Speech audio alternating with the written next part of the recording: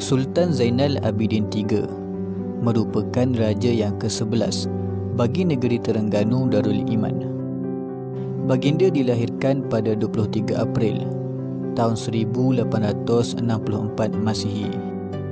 Sultan Zainal Abidin III ditabalkan menjadi raja negeri Terengganu pada tahun 1881 Masihi selepas kemangkatan ayahandanya iaitu Sultan Muhammad Muazzam Shah II. Baginda Sultan Zainal Abidin III terkenal dengan peribadinya sebagai seorang raja yang alim yang memerintah negeri Terengganu Darul Iman dengan adil dan saksama. Peribadi Baginda Sultan telah dididik dan dibentuk dengan baik oleh ayahandanya sendiri. Juga ulama-ulama istana yang menjadi pembentuk utama kepada diri baginda. Sehingga baginda terkenal di arena sejarah tanah air sebagai seorang raja yang alim.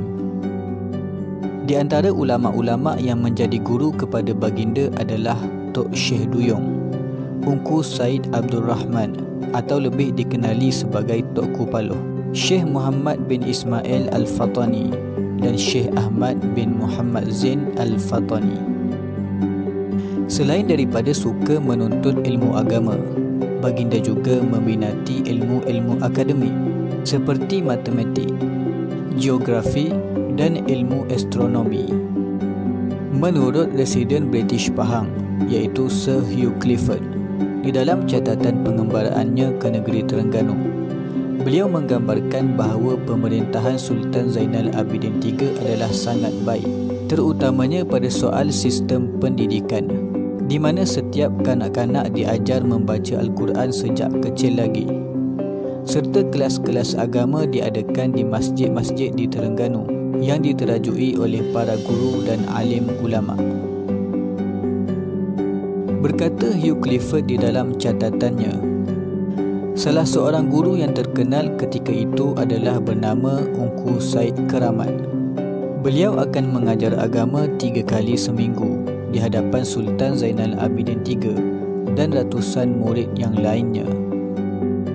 Dari segi undang-undang bagi hukuman jenayah, Hugh Clifford mencatatkan bahawa Terengganu menjalankan undang-undang menurut perundangan Islam seperti memotong tangan bagi kesalahan mencuri jika sampai pada hadnya.